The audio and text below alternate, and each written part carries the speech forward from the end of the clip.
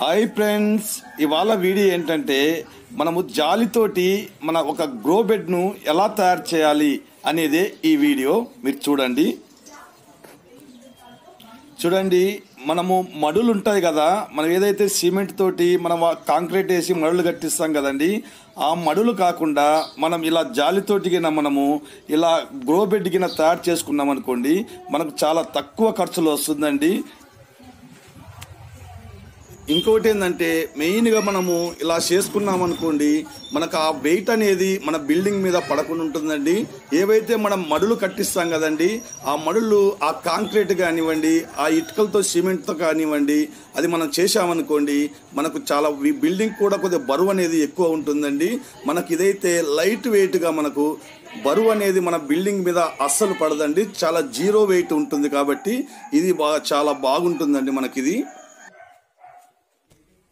ఏవైతే మనము ఆ కుండీలు పెడతాం కదండి ఆ కుండీలలో మనం వాటర్ పోసామనుకోండి అవి తొందరగా మనకు డ్రై అయిపోతుంటాయి. అదే మనము ఇలాంటి ఈ గ్రో బెడ్కి నా తయారు చేసుకున్నాం అనుకోండి మనం వాటర్ పోసినాం అనుకోండి సమానంగా మనకు అది తడి అనేది ఉంటుందండి. అది మనకు తొందరగా మనకు తడి అనేది ఆరకుండా ఉంటుంది. ఇంకొకటి ఏంటంటే వీటి మీద మనము ఇంత స్టాండ్లో ఉంది కదండి. ఇంత స్టాండ్లో మనము ఏవైతే మనకు ఒక ఐదు ఆరు కుండీలు మాత్రమే పెట్టగలుగుతామండి అదే మనము ఇలా గ్రో బెడ్ కింద తయారు చేసుకున్నామనుకోండి పది కుండీలలో పెట్టే మొక్కలు మనము ఈ గ్రో బెడ్లు అనేది మనం పెట్టుకోవచ్చండి. మీరు ఈయన చేసుకోవాలనుకుంటే ఇలా స్టాండ్ ఉంది కదండి ఇలా ఫోర్ సైడ్ అవసరం లేదండి. ఇది నేను హైడ్రోపోనిక్ కోసము గ్రీన్ హౌస్ లెక్క నేను ఇంతకుముందు చేశానండి ఇది.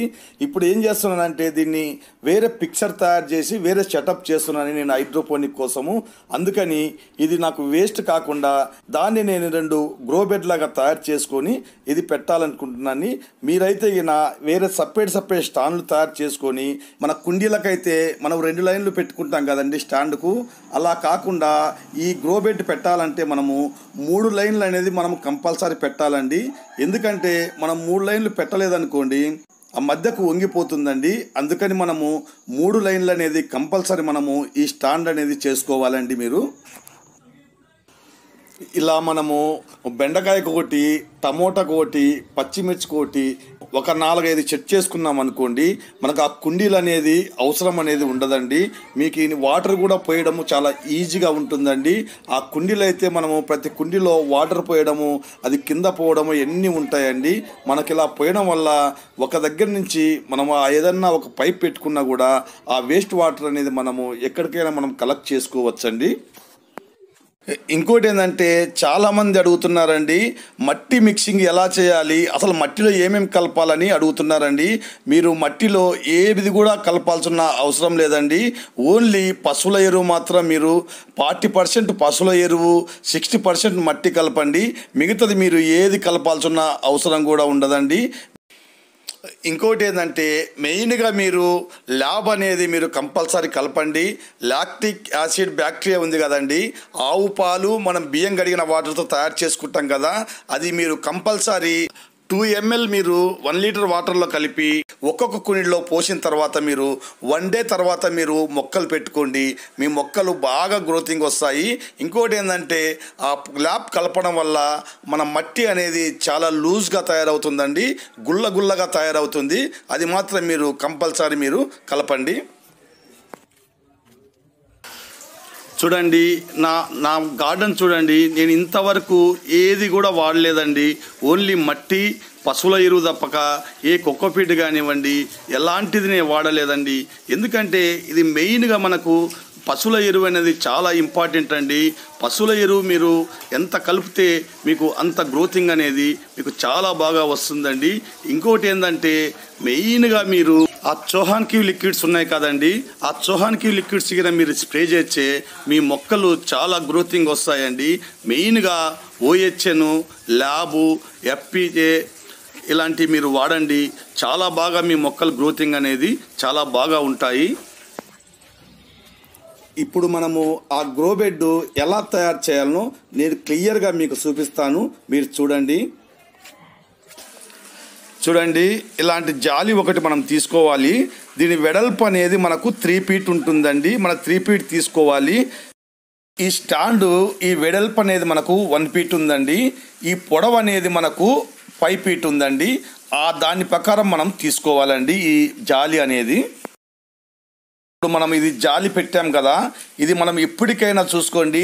ఏదైతే మనకు ఆ స్టాండ్ ఉంది కదండి ఆ స్టాండ్ అనేది వన్ ఫీట్ ఉంది కాబట్టి మనం ఏం చేయాలంటే వన్ ఫీట్ అనేది మనము ఆ స్టాండ్ కంటే ఎక్కువ తీసుకోవాలండి.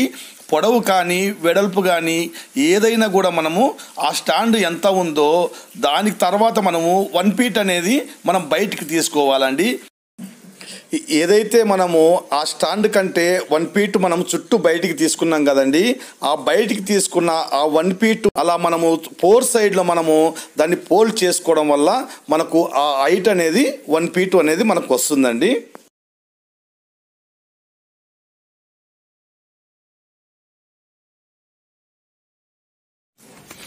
ఇంకోటి ఏంటంటే మనకి ఇలాంటి ట్యాగ్స్ అనేది దొరుకుతాయండి. ఇవి మన ప్లాస్టిక్ ట్యాగ్స్ అంటారు. ఇవి కూడా మన ఎలక్ట్రికల్ షాప్లో దొరుకుతాయండి. ఆ ట్యాగ్స్ తోటి మనం ఏదైతే ఆ స్టాండ్ మీద మనం పెట్టామో ఆ జాలిని అన్నిటకు మనం ఆ ట్యాగ్స్ తోటి మనము అలా కట్టుకున్నాం అనుకోండి మనకు అటు ఇటు జరగకుండా అనేది మనకు ఉంటుంది.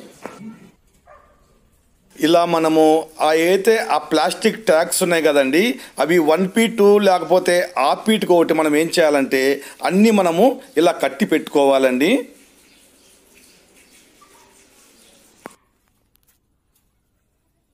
అండ్ మొత్తం మీరు అక్కడక్కడ ఈ ట్యాక్స్ అనేది పెట్టుకోండి. తర్వాత మనం ఏం చేయాలంటే ఇలా ఉంది కదండి ఇలా మన ఫోర్ సైడ్ పెట్టుకున్నాం కదా వన్ ఫీట్ వన్ ఫీట్ బయటికి పెట్టుకున్నాం కదా ఆ తర్వాత మనం ఏం చేయాలంటే అటు ఇటు మనము అవి వాటిని అనేది ఈ మనం ఇట్లా చూడండి మీరు ఇలా మీరు కట్ చేసుకోవాలండి. రెండు సైడ్లు ఇలా కట్ చేసుకున్నారనుకోండి మనకు అది ఆ ఫోల్డింగ్ చేయడానికి కొద్దిగా ఈజీగా ఉంటుంది. మనకు ఎంతైతే ఆ స్టాండ్ ఉందో అంతవరకు మీరు టూ సైడ్స్ ఇట్లా కట్ చేసుకోండి. ఏదైతే మనకు ఆ స్టాండ్ ఉంది కదండి ఆ స్టాండ్కు మనము వన్ నుంచి బయటికి అనేది మనము బెండ్ చేసుకోవాలి. ఏంటంటే ఆ స్టాండ్ వరకు మనం బెండ్ చేసామనుకోండి అది లోపలికి అనేది దిగబడుతుంది. అందుకని వన్ నుంచి బయటకు తొట్టు ఆ జాలిని మనము ఆ బెండ్ చేసి పెట్టుకున్నాం అనుకోండి మనకు ఆ వెయిట్కి అనేది లోపలికి పోకుండా మంచిగా ఉంటుంది.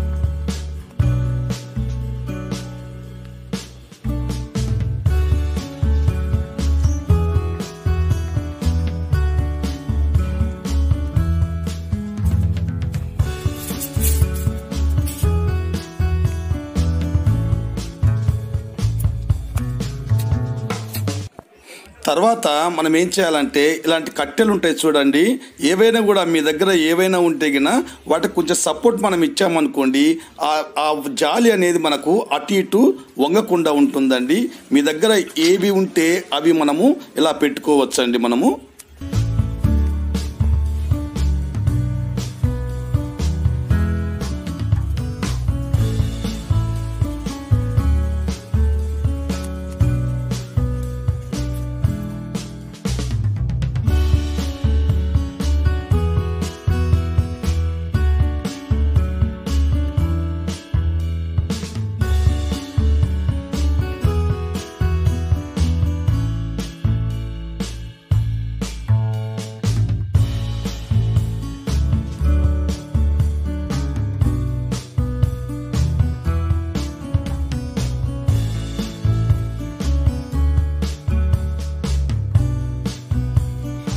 తర్వాత మనము ఏం చేయాలంటే ఇలాంటి బ్లాక్ సీట్ ఒకటి మనకు దొరుకుతుందండి.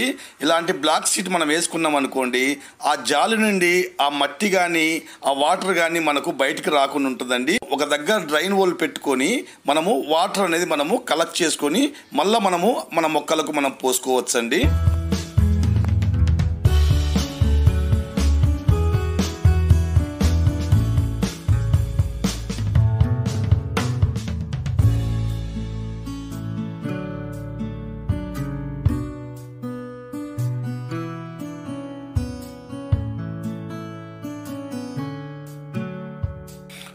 తర్వాత మనము ఇలాంటి వైర్ ఉంటుంది కదండి ఇలాంటి వైర్ తోటి మనము అటు ఇటు కట్టుకున్నాం అనుకోండి మనకు ఆ మట్టి పోసినప్పుడు ఆ బ్యాగ్ అనేది అటు ఇటు జరగకుండా స్ట్రైట్గా మనకు నిలబడుతుందండి.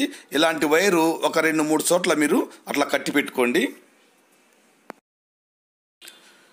ఈ వీడియో నచ్చితే లైక్ చేయండి షేర్ చేయండి. Okay bye.